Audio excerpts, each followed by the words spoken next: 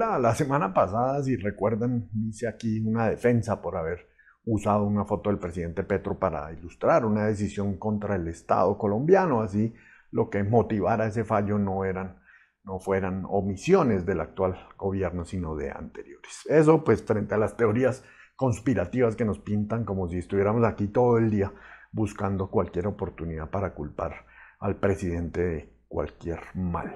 Y claro, un mínimo de en ese tipo de contenidos, pues alimenta ahí mismo ese cuentico. Y esta semana les dimos su papayita mejor picada que la semana pasada.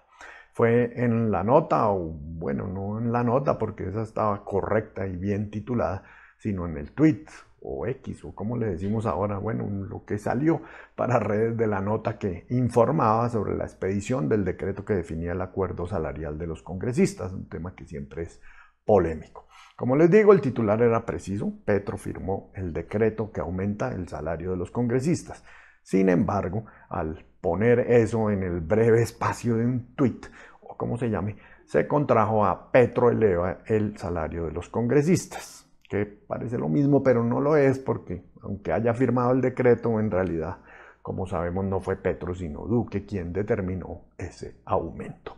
Ni modo, bien partidita quedó servida la papaya y se la saborearon algunos y no alcanzó a alimentar teorías de la conspiración, pero bien pudo haberlo hecho en estas épocas preelectorales tan propensas a esas teorías.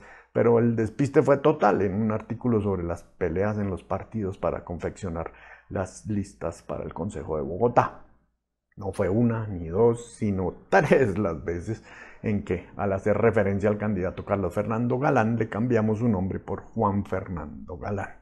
Y si le faltaba una cereza a ese postre, se lo pusimos con el nombre del movimiento que inscribió a Jorge Enrique Robledo para la alcaldía de Bogotá. También dignidad y compromiso.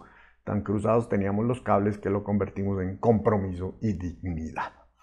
Ocasionalmente hemos tenido también la confusión de nombrar los departamentos de Santander y Norte de Santander y intercambiarlos. Pero lo que sí no recuerdo haber visto nunca antes es que intercambiáramos con la misma facilidad a sus capitales, a Cúcuta y a Bucaramanga.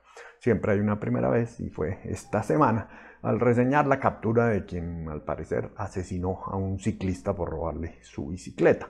El hecho, como decía la nota, sucedió en Villa del Rosario, área metropolitana de Cúcuta, pero al hacer la gráfica para distribuir la noticia en redes sociales lo ubicamos en Bucaramanga.